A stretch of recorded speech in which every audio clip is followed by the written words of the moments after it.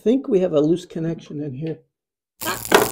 Alex, turn off the power. The most common defects with electrical outlets with a basic outlet tester, a couple tools will make you an expert so you won't have this problem again. Let's get to it. Hey, keep watching the whole video. At the end, we're actually gonna put two defects on one of these outlets and test it and see what it will display. I'm actually not sure what happens with these detectors when they have more than one defect on the same outlet. So a correctly wired outlet, if you look closely, the two prongs, there's a small one and a large slot. The long slot is the neutral and the small slot at the bottom, the circle, is the ground. Hot, neutral, ground. As long as you commit that to memory, you will always have the correctly wired outlets and be able to fix any circumstance. Now, when you're using electrical testers, there's actually a lot of different brands out there, and everyone will have a different configuration of lights, um, or as they call them, lamps, to show what is the correct configuration. So make sure you read the individual brand you have. In this outlet tester, one light on the left and one light on the right indicates a correctly wired outlet. So let's test this one two lamps on the left and go ahead and check that out. That means reverse polarity. Reverse polarity, that polarity refers to the hot and the neutral. So when we pull this and check it, we're gonna find that these are swapped. They're backwards. That does make a difference for safety, for sensitive electronic equipment. This is a common defect. You do wanna correct that. The hot and the neutral must be connected to the right side of the outlet. The black wire will be the gold screw and the white neutral wire will be on the silver screw. This next one, one lamp on the right, it's showing open neutral.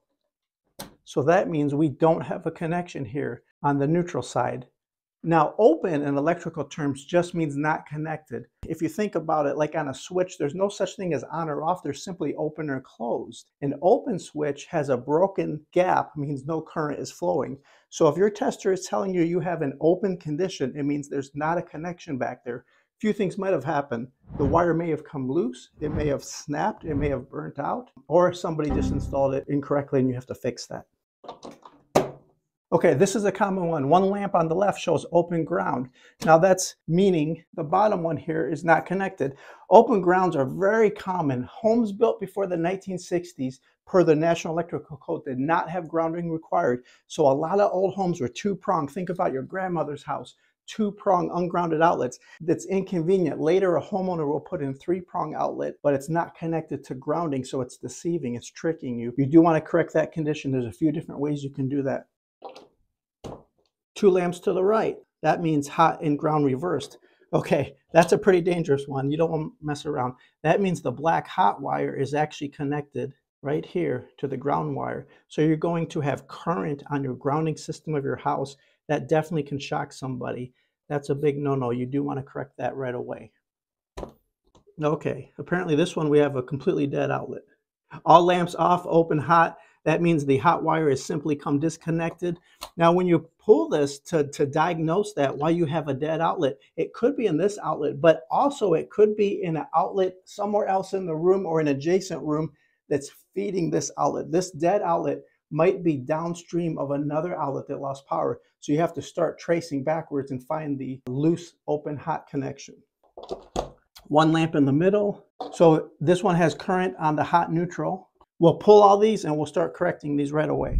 Okay, this was one of the outlets that was marked as reverse polarity. And if you look, indeed, we have the white neutral wire on the gold screw, that is backwards. That is a backwards wired outlet. So to correct that, it's going to be simple. You're literally just going to swap these positions.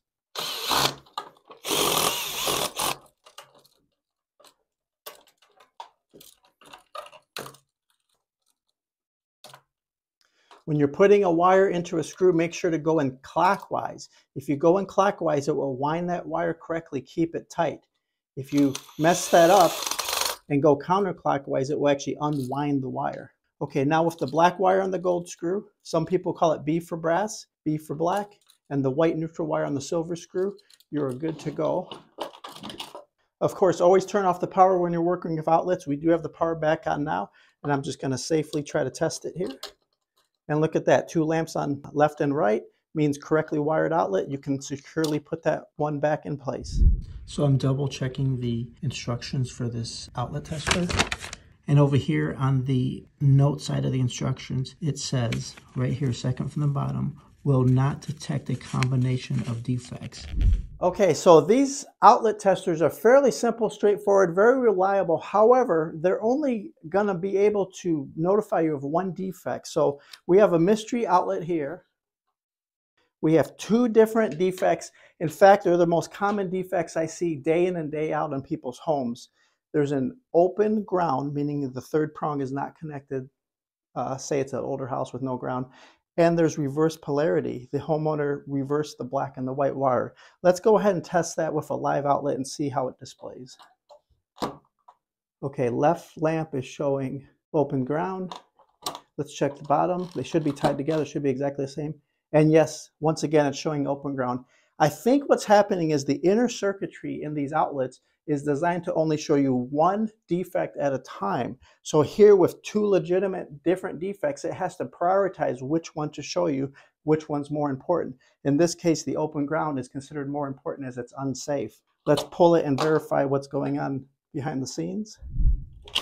Okay, just like I suspected, the white wires on the brass screw, that's wrong. The black wires on the silver screw, that's wrong. So reverse polarity, homeowner hooked it up backwards, but it only displayed open ground. There's no ground wire connected to the ground screw. So as long as you go through and you know to always connect your black wires to the small slot brass screw, the white wires to the silver larger slot, and the ground wires to your green screw. Green always indicates ground, which is safety then you should buy outlet testers. It'll make your life a lot easier. You'll be a lot more competent with diagnosing outlet problems and electrical problems. Hey, let me know if you have any questions in the comments down below. I know you can do it yourself.